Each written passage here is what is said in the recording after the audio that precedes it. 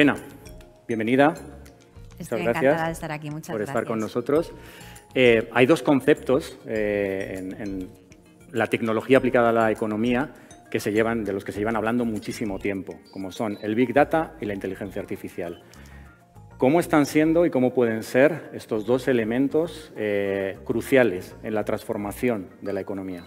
Dos elementos que están muy relacionadas entre sí porque cada una, Big Data necesita de inteligencia artificial y la refuerza y al revés y claramente están teniendo un impacto muy grande. ¿no? Yo creo que ya son una realidad en la mayor parte de las empresas y están transformando y ayudando a las empresas a transformarse básicamente porque lo que permiten es tomar mejores decisiones, eh, que son decisiones basadas en datos, en la enorme cantidad de datos que se, que se originan en, un, en un entorno digital. En España se está convirtiendo en uno de los polos regionales de tecnologías cloud. ¿no? Eh, por, distintos factores, por las infraestructuras de comunicaciones que tenemos, la ubicación, la innovación o incluso el precio del suelo, pero en los últimos meses y poquitos años estamos teniendo también anuncios de, las grandes empresas de tecnología, de los hyperscalers, que están poniendo centros de datos en, cloud en, España. ¿no? Se anunció pues, Microsoft y Google también junto con Telefónica, pero también Amazon lo está anunciando para el 22, IBM, o sea que realmente contamos con la infraestructura y con las capacidades de cloud eh, suficientes para las pymes.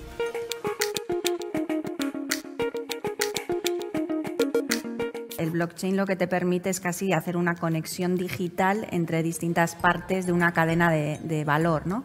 Eh, precisamente por ser descentralizado, por ser inmutable, por, realmente poder tener trazabilidad.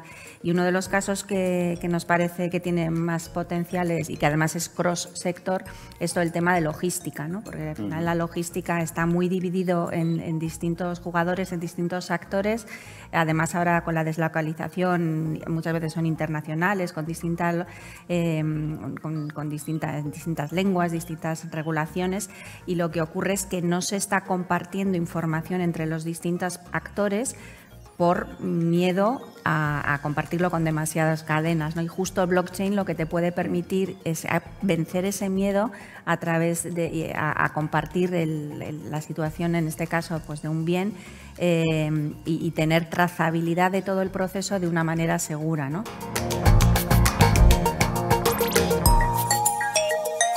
En el caso del metaverso, donde eh, luego lo, hablaremos, ¿no? Vamos a tener avatares y mm. donde ya no solamente eh, que van a tener nuestra identidad, eh, ya no solamente nuestra localización, sino también nuestros gustos, nuestras emociones. O sea, yo creo que claramente se abre un mundo mm, de oportunidades, pero también un mundo de, riesgos alrededor de la ciberseguridad.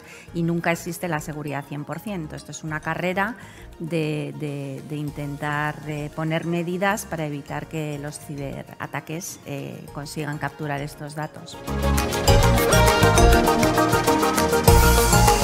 Claramente inteligencia artificial nosotros la utilizamos para protegernos de posibles ataques o, para poder mejorar la seguridad, pero el que quiere encontrar vulnerabilidades utiliza inteligencia artificial para lo mismo. Entonces, como digo, yo creo que es cuestión de ser muy conscientes y, no, no, frenar nunca, no estar siempre progresando y estar siempre mejorando para ir un paso por delante. Lo que falta es que sea un modelo sostenible. Yo creo que hasta ahora muchas de las empresas lo que estamos haciendo con la mejor voluntad es pilotos, pruebas, proyectos pequeños, pero realmente hay muy pocas experiencias donde se esté utilizando, en este caso Big Data, inteligencia artificial, pero creo que ocurre con otros proyectos sociales para que realmente se escale, para que realmente tenga un impacto suficiente y, de nuevo necesitamos trabajar en conjunto pues, pues con organizaciones eh, no gubernamentales, las distintas empresas tecnológicas, necesitamos algo que nos aúne eh, y, que genere al final los intereses para que esto se haga de manera sostenible y recurrente en vez de proyectos concretos donde demuestras el valor y al final queda, queda en, en poco empresas también lo que está viendo es como una extensión de los productos en el metaverso. De momento son algo como anecdótico, pues como cuando Gucci vendió un bolso en el metaverso más caro que el, originario, o Nike te pone las zapatillas, un modelo de zapatillas en Fortnite, etcétera. De momento son eh, cosas anecdóticas, pero yo creo que al final donde realmente va a haber un salto es cuando todas las empresas tengamos eh, la estrategia metaverso como el canal online con el mundo físico, pues será una extensión de todo de nuestra estrategia.